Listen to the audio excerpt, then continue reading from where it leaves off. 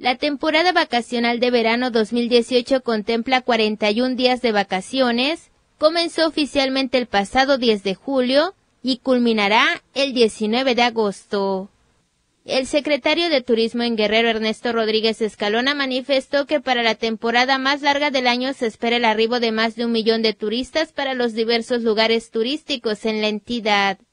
Para Iztapas y Guatanejo se pronostica una afluencia turística del 67% promedio, mientras que para Acapulco y Tasco aún continúan las reservaciones. Es una temporada que estamos seguros va a ser una temporada exitosa, ya empezamos a ver cómo levantan ya los fines de semana, pero el dato que tenemos nosotros en este momento es que más de un millón de turistas van a venir a Guerrero a vacacionar en estos 41 días, alrededor de 700 mil en Acapulco, 350 mil en Ixtapa y 50 mil en Tasco. Es que va a ser un buen verano para Guerrero. No tenemos todavía y no quisimos presentar todavía ni derrama económica ni ocupación hotelera porque todavía estamos recibiendo reservaciones de hoteles, estamos recibiendo todavía, entonces queremos ir haciendo cortes para darles datos más reales y no darles algún número que esté equivocado. Por eso ahorita tenemos la afluencia, no tenemos la derrama todavía, entonces hemos trabajado solamente la de Ixtapas y Guatanejo que estará como en el 67% promedio,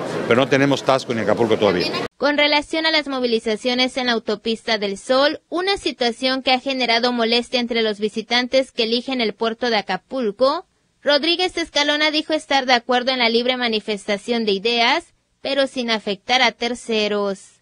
En ese sentido hizo un llamado a los inconformes para respetar al turismo y no perjudicarlo. Lo que yo he dicho siempre, nosotros estamos totalmente de acuerdo en la libre expresión, totalmente de acuerdo en la, libre manifestación, eh, pero no afectando a terceros.